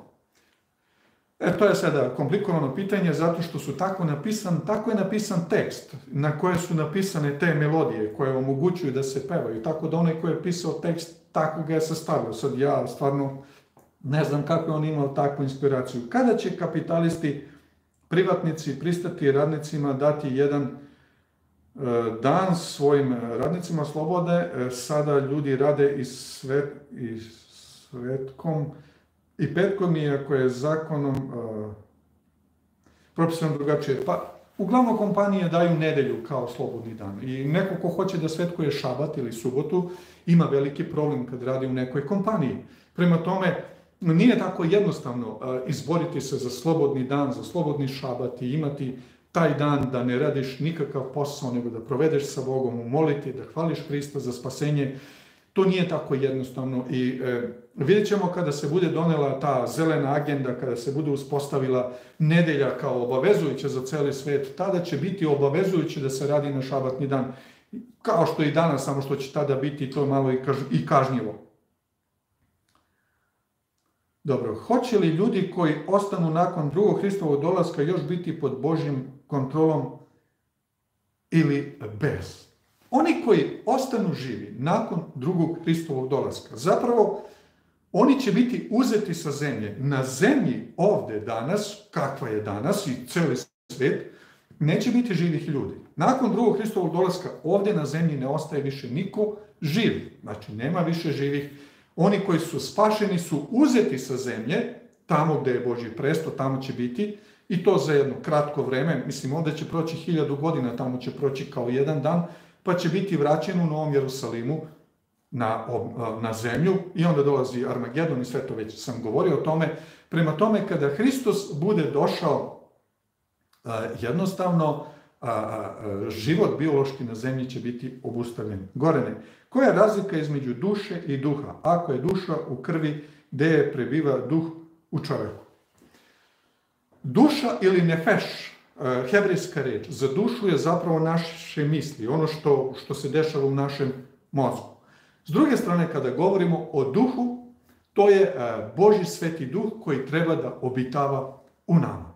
I gde on obitava u nama? Pa u celom našem biću. Dakle, ne možemo reći da je to samo u mozgu ili da je to samo u srcu ili gde god Duh Sveti je prisutan u nama. Zašto? Da bi posvetio celo naš, naše telo. Da se celi vaš duh, duša i telo sačuva za dolazak gospoda našega bez krivice. Prema tome, Boži Sveti Duh obitava u celom telu čovečijem i posvećuje celokupno ljudsko biće. Mi kada se rodimo od roditelja, mi smo samo duša i telo, nemamo duh. Tek, kaže e, Hristos Nikodimu, treba ti se nanovo roditi, jer ako se nanovo ne rodiš, nećeš vidjeti carstva Božjega. Prema tome, novo rođenje podrazumeva da budemo rođeni od duha svetoga i da budemo ispunjeni duhom svetim, da bi bili duh, duša i telo. Bez toga mi smo samo duša i telo. Ništa više od toga. Uh, uh, mnogo pitanja ima. Koji su pisci Biblije, njihova imena i prezimena? Pa to je lako. Kada uzmete Bibliju, imate sadržaj i u tom sadržaju uglavnom imate imena autora biblijskog teksta.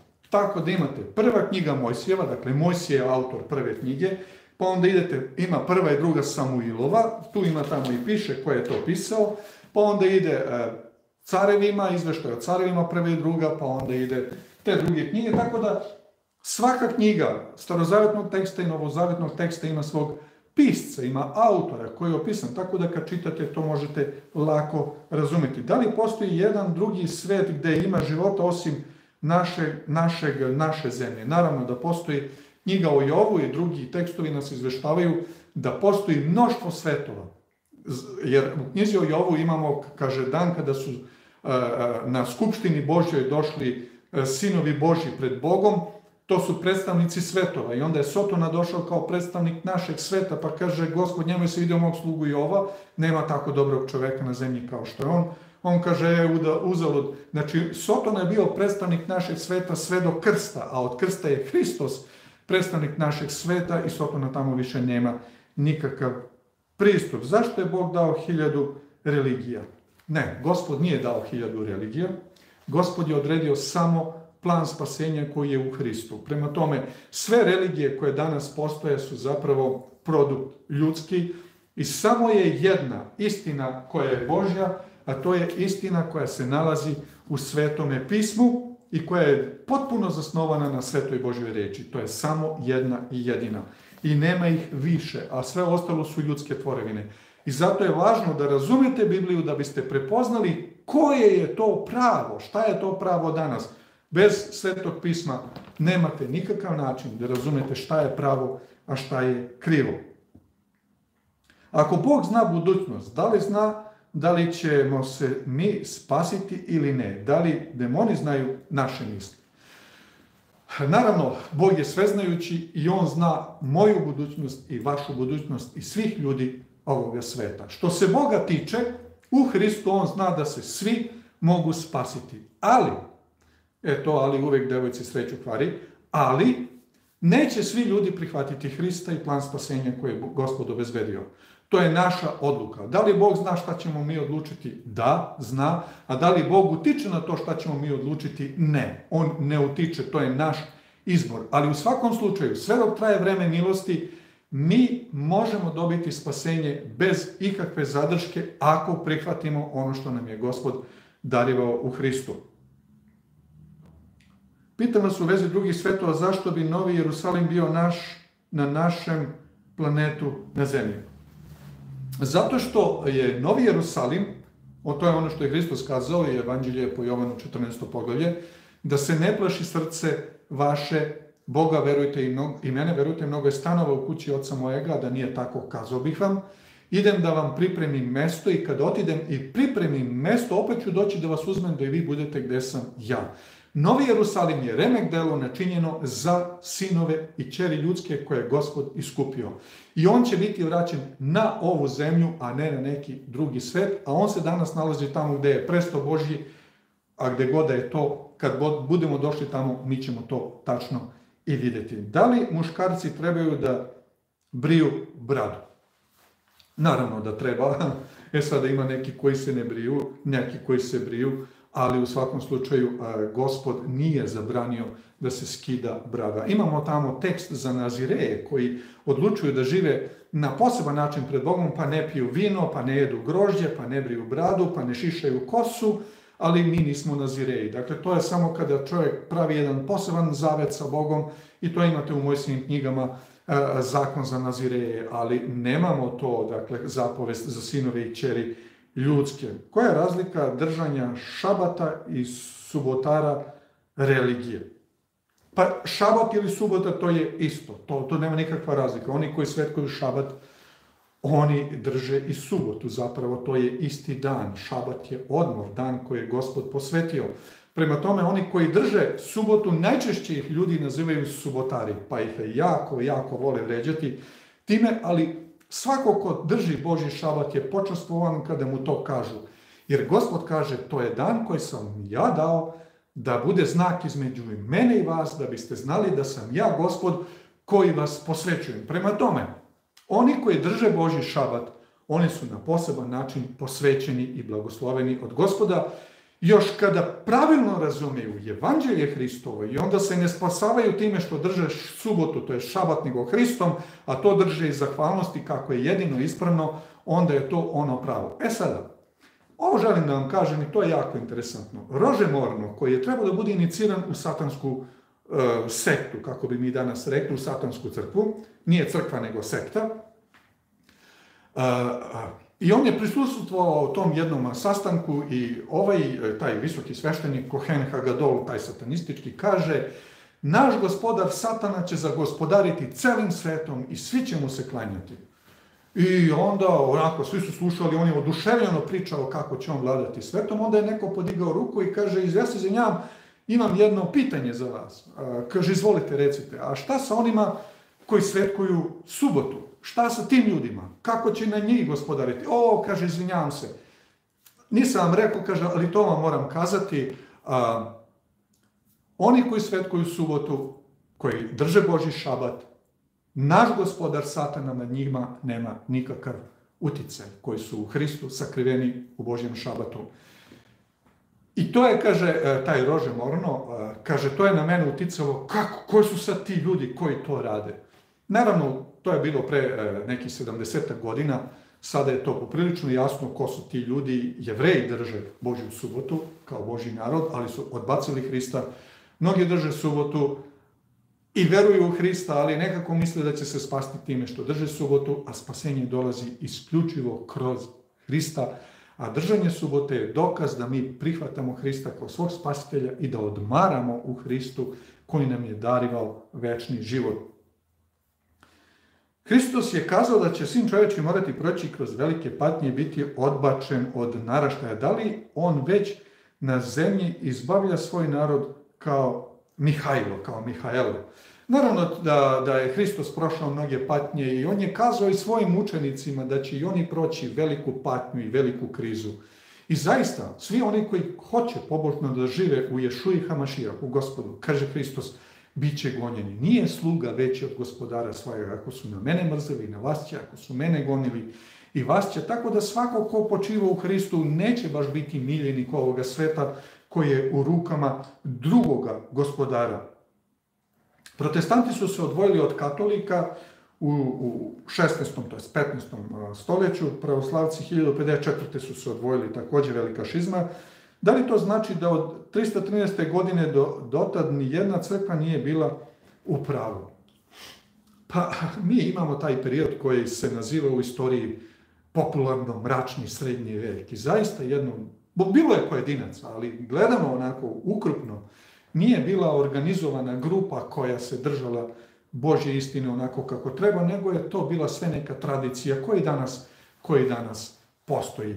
I um, To je period zaista velikog mraka i tek sa Luterom pa onda drugi reformatori, reformatori Calvin, Zwingli, kada su se vraćali Bibliji, ali i oni su držali nedelju još uvijek tada, nisu znali. Tek o šabotu se saznalo u 19. veku, nisu imali pojma hrišćani da je to Boži dan od odmora, onda čitaju Bibliju i ja sam je čitao, pa sam mislio, svuda gde čitam piše subota, ja sam mislio da je nedelja. Kako rekao ovi napisali ovako pogrešno ovaj dan? Dok mi Bog nije otvorio um. Neverovatno koliko je to bilo sakriveno od, od, od, od, od, od ljudi, a tu je zaista počiva veliki blagoslov. Šta je s ljudima pre 4000 godina pre Hrista?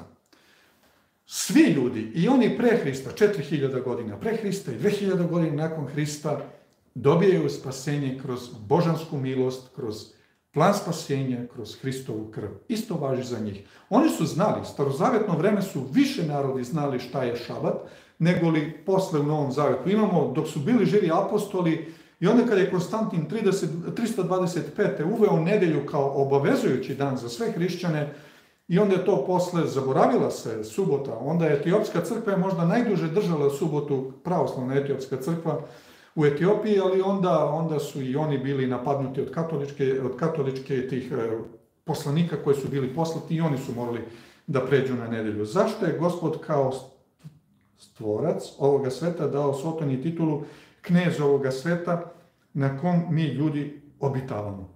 Ovo je jako dobro pitanje, pita je Aleksandar. Zašto je? Zato što on jeste knez, uh, hebrejska reč za reč knez je na gid, upravitelj, onaj koji gospodari ovim svetom. I Hristos kaže, jer ide knez ovoga sveta i u meni nema ništa njegovo.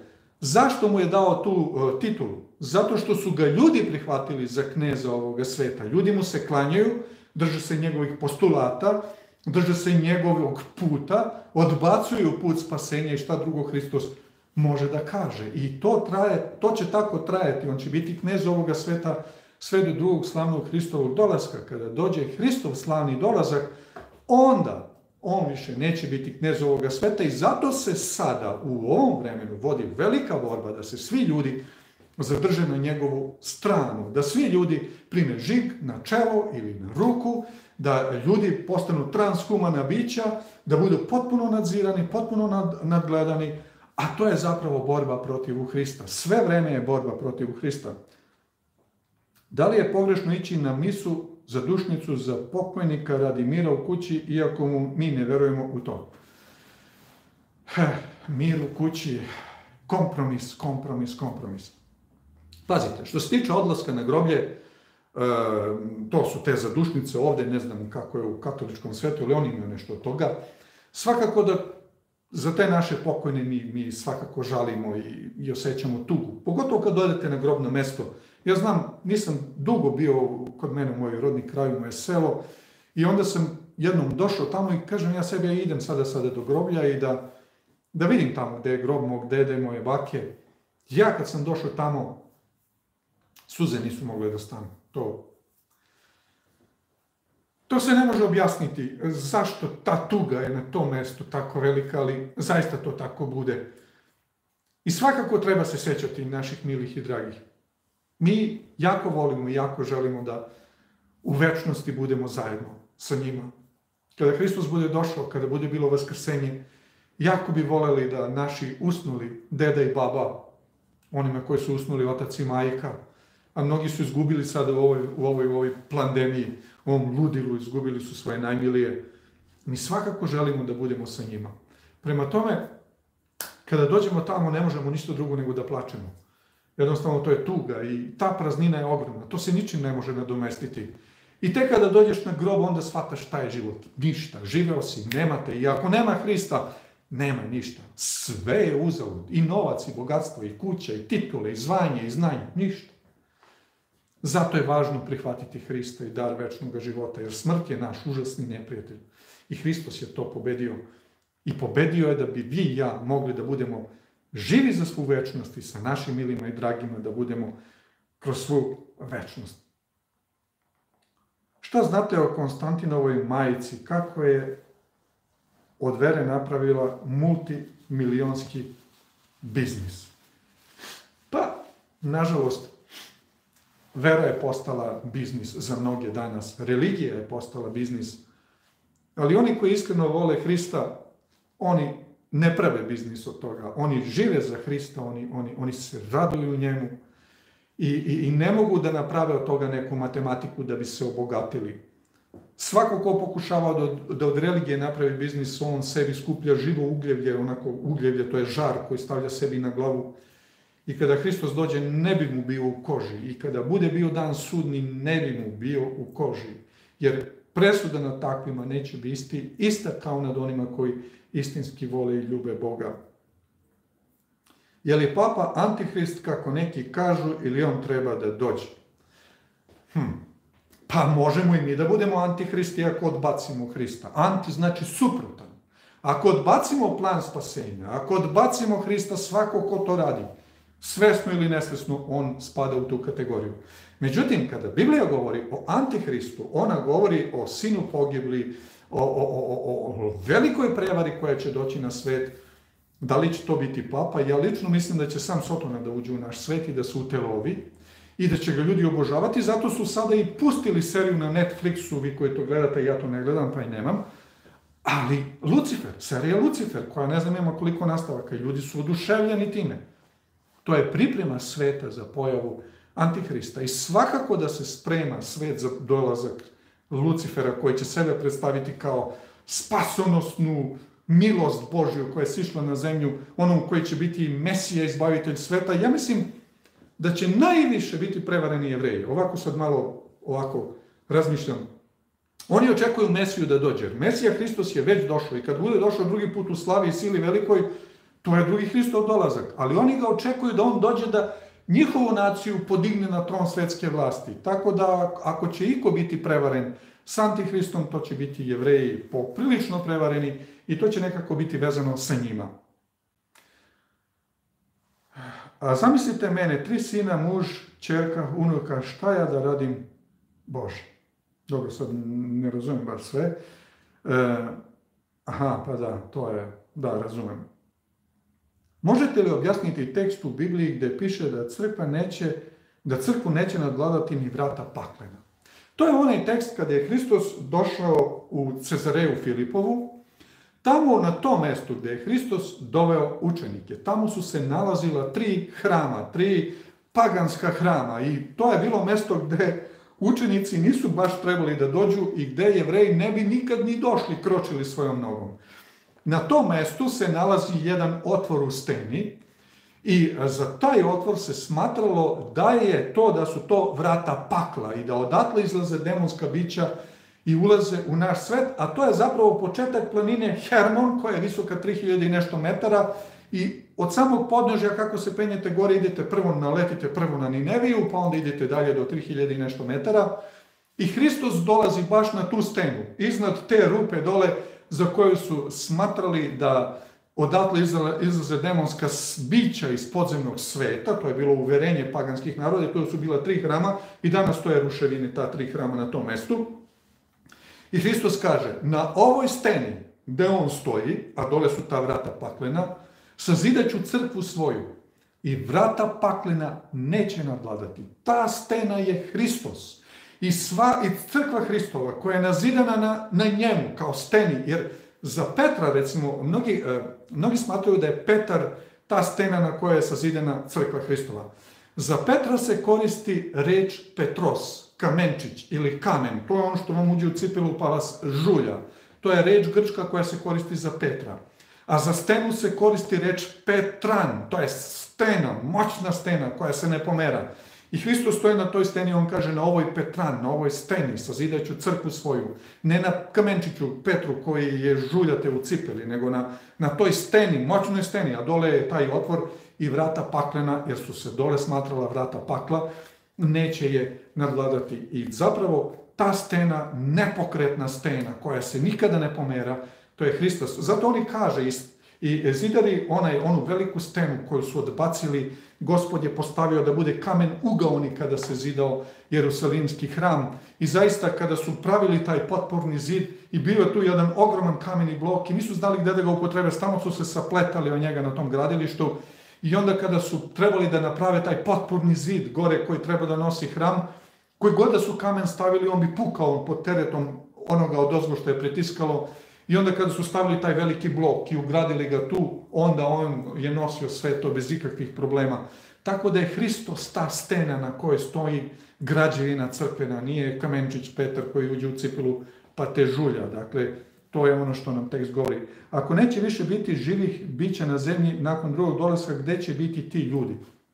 Živi će biti, pa čitao sam, ja sam o tom već govorio, ali niste možda pratili, živi će biti vazneti na nebo, tamo gde je Boži presto. I to imate opis, evo, mislim, prosto naprosto, hajde da pročitam reči, da ne bude da pričam naučnu fantastiku, jer to izvuči vrlo naučno fantastično ovako kada to slušamo. 15. poglavlje knjige otkrivenja kaže ovako. I videh drugi veliki znak na nebu i čudo sedam anđela koji imahu sedam posljednjih zala jer su njima savrši gnev Božji i videh kao stakleno more smešano s ognjem i one što pobediše zver, ikonu njezinu, žig njezin, broj njenog imena, gde stoje na moru staklenom i imahu harfe Božje. I pevahu pesmu Mojsijevu uslugu Božjega i pevahu pesmu Jagnjetovu, govorići velika su i divna, divna dela Tvoja, gospode Bože svedržitelju, pravedan si, istiniti sudevi Tvoji, care svetih. I ko se neće pobojati Tebe? Dakle, Boži sveti će biti uzeti sa zemlje i bit će na staklenom moru, ili a, to je prostor koji, koji gori planti ognjem.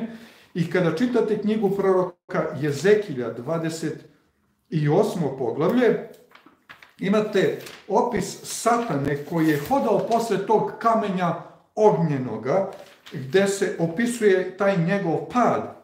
Kaže ovako, 12. stih, sine čoveči, 28. glave knjige proroka Ezekilja, sine čoveči, nareči za carem Tirskim i recimo, ovako govori gospod, ti si pečat savršenstva, pun si mudrosti, sasvim si lep, bio si u Edemu vrtu Božjemu. Dakle, to je mesto Pokrivalo te svako drago kamenje, sad, topas, dijamant, hristolit, opis e, e, Lucifera, je, e, oniks, jaspid, safir, karbonikul, smaragd, zlato i onaj dan kada si se rodio, načinjeni ti behu bubnjevi i svirale, ti si bio heruvim pomazan da zaklanjaš i ja te postavih ti beše na svetoj gori Božjoj, hođaše posled kamenja ognjenoga. More smešano sa vatrom je zapravo mesto gde će Boži sveti biti uzeti. I zapravo to je mesto, prostor, gde se nalazi i Novi Jerusalim. Sad mi nemamo, to imamo sada, ne čitam 20. prvo poglavlje knjige Otkrivenja, čitajte kod kuće. I Boži sveti, spašeni svih vekova, će biti odnešeni tamo. I tamo će se izvršiti sud nad onima koji nisu prihvatili evanđelje. I bit će donešena presuda za njihovo večno uništenje. Onda sledi njihovo vaskrsenje i presuda nad njima. Jer pazite, mnogi misle da su se izvukli. E, mnogi su učinili zla dela i nisu nikada bili osuđeni. Ali na božanskom sudu bit će osuđeni svi zločinci i niko se neće izvući, ni jedan. I onda će im biti izrečena smrtna presuda, kad budu bili vaskrsnuti, bit će im izrečena presuda i bit će izvršena presuda nad njima, kada će biti uništeni za svakda, da ih više nikada ne bude. Šta uraditi ako muž slavi slavu i kako supruga da se ponaša zna da je to idolopoklonstvo i da ne dođe sukob i rasturanje braka? Pa šta da radi? Muž je glava kuće, on to slavi, žena neka spremi sve ono što treba da spremi, a muž je taj koji odgovara za to što radi. Žena ne odgovara jer onaj koji, kad govorimo o slavi, ručak kao takav nije problem. Problem je obred koji se izvodi u tom kontekstu, a to uvek radi muž. Tako da je to njegova odgovornost, nije ženina odgovornost. Jedan prijatelj me je pitao da mu malo objasnim svoju veru, ali ne znam kako da počnem jer imam osjećaj da mi ga Bog poslao da mu pomognem da on vidi istinu. Zaista, to nije tako lako objasniti e, veru u Hrista, veru u spasenje. To nije tako jednostavno, ali pravo da vam kažem. Hristos kaže ovako. U onaj dan kada vas pitaju, ne brinite se šta ćete reći. Jer će vam gospod dati reči koje ćete reći, kojima se neće moći suprostaviti. Što znači? Kada te neko pita, ispričaj svoje iskustvo s Bogom koje ti imaš. To je najbolje, ono što si doživao sa njim. To je nešto što je tvoje lično i što je tvoje lično moćno iskustvo. I svaki put kada prenesemo ljudima naše iskustvo koje imamo sa Bogom, To je najbolje svedočanstvo prijateljima o Bogu. Prema tome, to je i ono što najbolje možemo uraditi. Subota se posvećuje od sunčanog zalaska do sunčanog zalaska. Da li od pola noći do pola noći ima to veliko bistvo kako da se gleda na ovo? Pa biblijski gledano je najbolje ono što čitamo u prvoj knjizi Mojsijevoj u prvom pogledu. I stvori Bog i kaže reče Bog i bi veče i bi jutro dan prvi i potom stvara svetlost, podvaja svetlost od tame i tako dalje i tako dalje.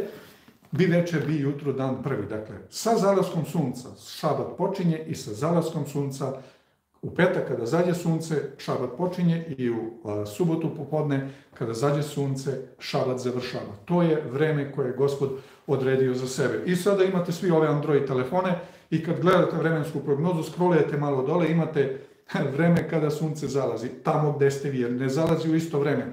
Tako da svaka geografska tačka ima različito vreme kako, kako sunce zalazi. E sada, šta je to? Zašto je to bitno? Zato što kada zalazi sunce, mi se pomolimo Bogu za početak šabata. I to se pomera, svakog minuta se pomera sve dalje i dalje. Tako da, kako se sunce kreće iznad ovog našeg sveta i dan se pomera, to jest šabat počinje, tako imamo ljudi slave početak šabata. 24 sata. I onda imamo 24 sata ljudi slave završetak šabata.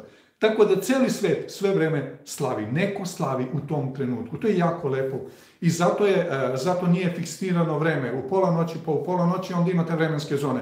Kod nas je ponoć u toliko sati, onda u Engleskoj oni su sat ispred nas, u, ne znam, Izrael sad kako beše te vremenske zone, ne, nego mi pratimo kako sunce zalazi i to imate na telefonu, sad svi imate telefon i tamo tačno piše u koliko sati sunce zalazi. Bilo je u četiri kada je bio dan najkraći, to su dva, minut do četiri, a sada je već negde oko 5 sati ovde gde sam ja, tamo gde ste vi, ne znam koliko sati sunce zalazi. Pogledajte na telefonu, to bar tamo lepo piše. Odakle žene u zemlji Nod, gde je Kain pronašao suprugu? to je pitanje koje mnogi pitaju, pa kaže, gde je sad Kain našao tu ženu kad je došao u zemlju Nod? Odakle žena tamo kada je bio Adam, Eva i kada je bio Avilj i Kain, odakle sada se odjedan put pojavljuju te žene tamo? I u, u četvrtom poglavlju mi imamo taj opis za Kaina koji je dobio znak na čelu i onda je posle toga otišao u, ženu, u zemlju Nod i oženio se E, I evo, to kaže ovako. I otide Kain ispred gospoda 16. stih 4. glave, gospoda i naseli su zemlju o, nadiskoj na istoku prema Edemu i pozna ženu Kain svoju i ona zatrunje rodi Enoha i sazida grad i prozva ga po imenu sina svojega Enoh. I tako dalje, i tako dalje. Imamo opis i sad mnogi postavljaju pitanje odakle žena.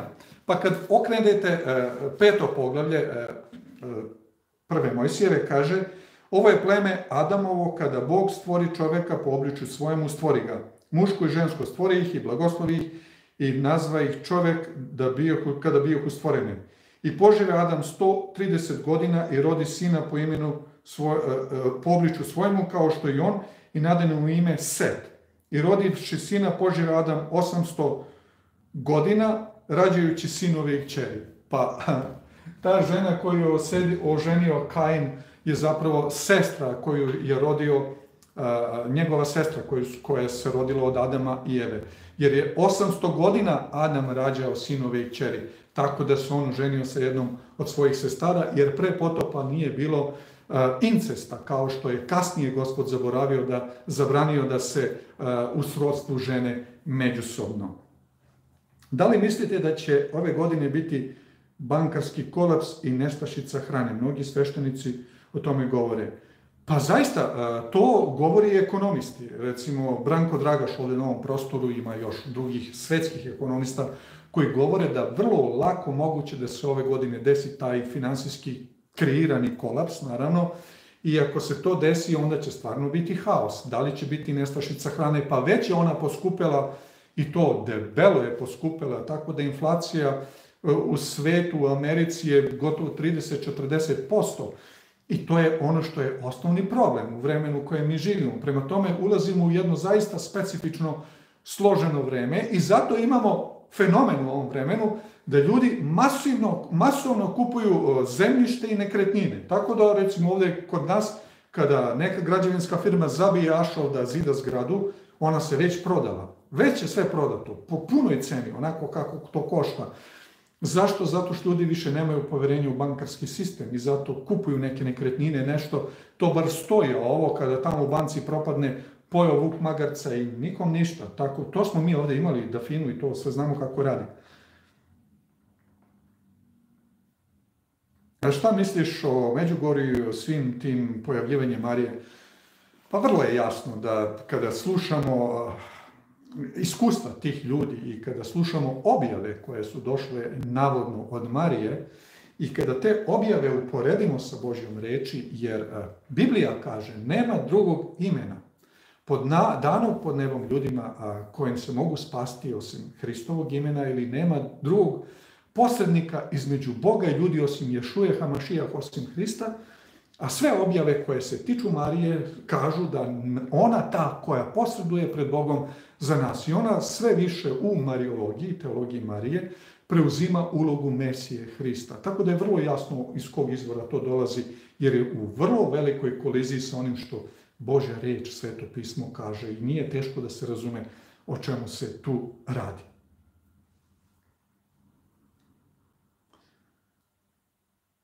Šta mislite o obraćanju Izraela? Miroljub Petrović kaže da će se to desiti u posljednjim vremenima. Pa Miroljub Petrović kaže i ne kaže, ne znam, nisam slušao, ali znam šta apostol Pavle kaže u Rimljanima 11. povelja kaže da će se Boži narod Izrael obratiti u posljednjim, vremeni, u posljednjim vremenima. To je Pavlov govor i to će se svakako desiti sa onim iskrenim jevrejima, sad do duše i ne znam šta će se desiti posle svega što im se desilo u vreme ove pandemije, ali kako god Božje proročanstvo stoji da će se Izrael kao Boži narod obratiti u posljednje dane, u posljednjim vremenima.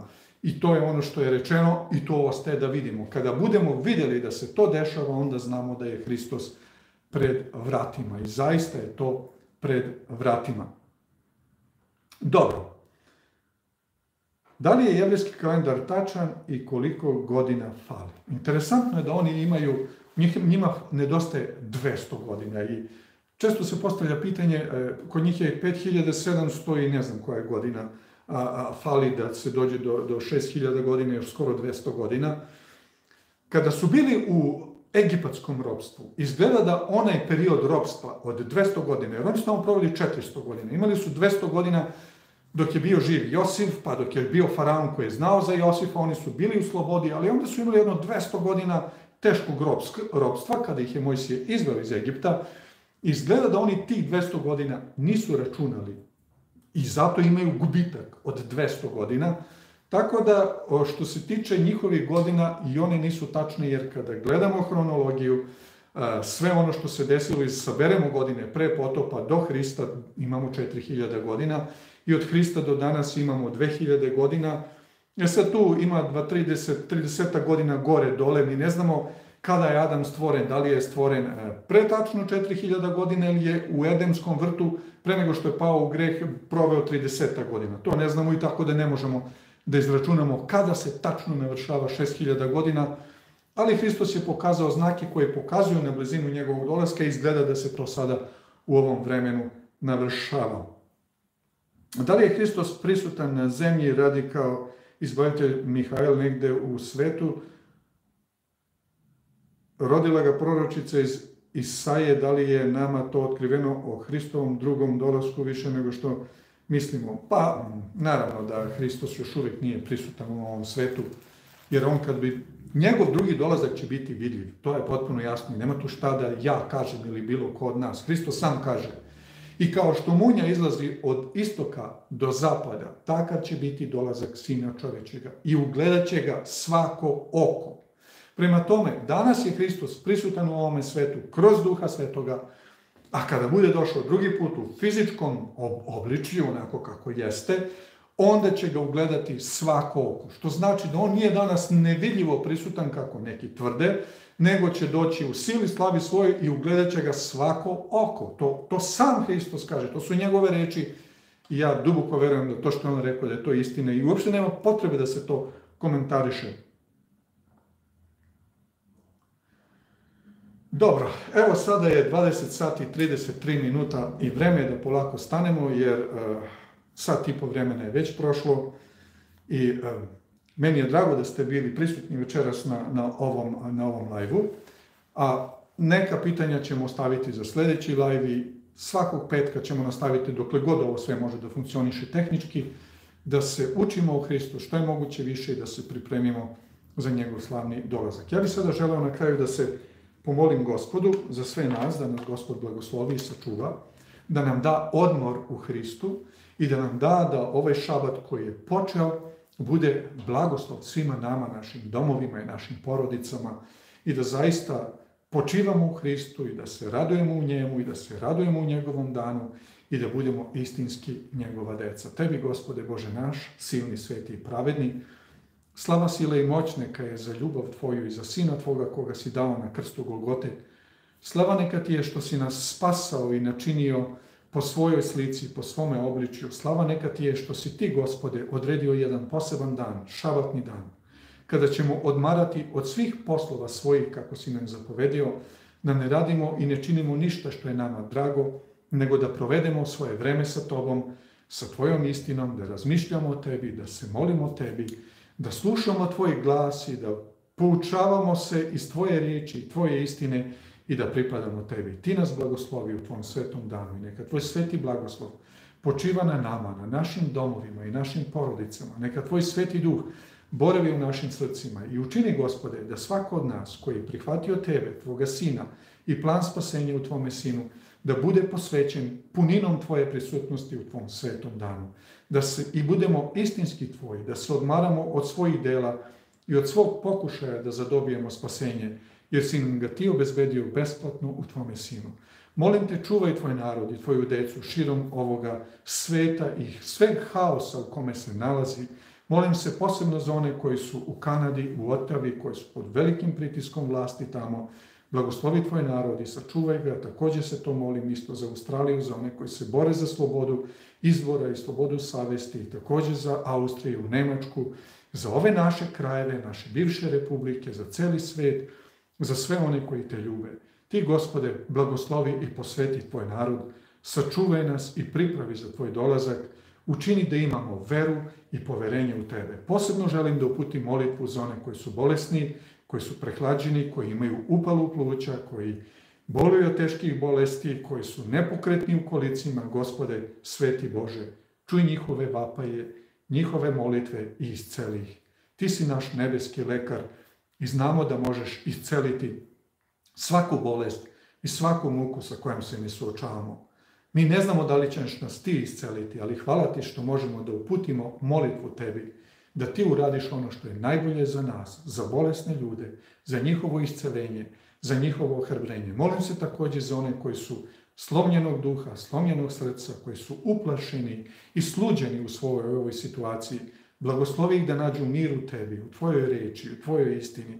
Sačuvaj ih i vodi ih, gospode, i pomozi svima nama da budemo tvoji, da pripadamo tebi i da ne odustajemo od tebi, od tvog uzanog puta koji vodi u večni život, ni levo ni desno, a slava sila moći čast neka ti je na svemu u ime ljubljenog Sina Hrista do veka večno i u sve vekove vekova. Amin. Lep pozdrav svima, dragi moji prijatelji. Neka vas Gospod blagoslovi, neka vam da mirnu noć, Uživajte u Božjem svetom danu u kome i onako jesmo, svidjelo nam se ili ne, tu smo u njemu i možemo da se radujemo, da osetimo njegovu prisutnost i njegov blagoslov. Neka čuva vaše domove, vaše porodice, neka vas isceli ako ste bolesni, da zaista imate radost i da budete u njegovoj prisutnosti sa punim srcem i puno radosti. Želim vam laku noć i prijatno veče i sledećeg petka u 19 sati na isto vreme, isto mesto, opet ćemo proučavati nešto iz reči Božje, neku od tačaka istina koje su bitne za naše spasenje, a dotle laku noć i Gospod sa svima vama neka je lep pozdrav od mene.